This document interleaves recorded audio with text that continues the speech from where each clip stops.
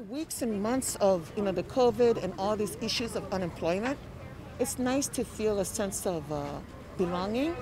And the way they, they go about getting volunteers and everyone to get together and organize this whole thing in such a package way, it makes you feel some source of worth, worth self worth.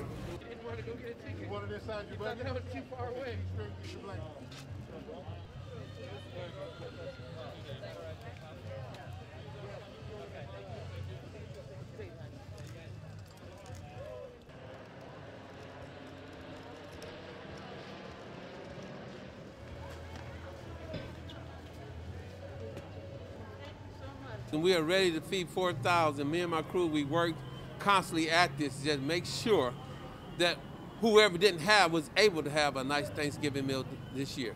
The food they give us at where I live in the hotel is very nasty. Cold sandwiches, I hate to say that. I'm not ungrateful, but a hot meal, it warms your heart. We call it in my community soul food.